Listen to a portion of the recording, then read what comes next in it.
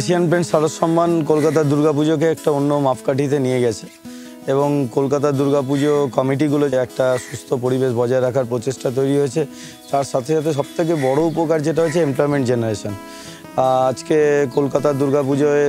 যারা কাজ করছে ছ মাস ধরে প্রায় কাজ করছে এবং তাদের যে অ্যাভারেজ ইনকাম সেটা সরকারের একশো দিনের রোজগার হিসাব দেখা গেলে তিনশো থেকে চারশো দিন তারা কাজ পায়, রোজ পায়। এবং সেখানে কম করে হলেও আমার মনে হয় তিন চার হাজার লোক সরাসরি জড়িয়ে এবং তার থেকে হয়তো বিভিন্নভাবে আর কি সরাসরি না থাকলেও সেখানে হয়তো চল্লিশ পঞ্চাশ হাজার লোক জড়িয়ে আছে।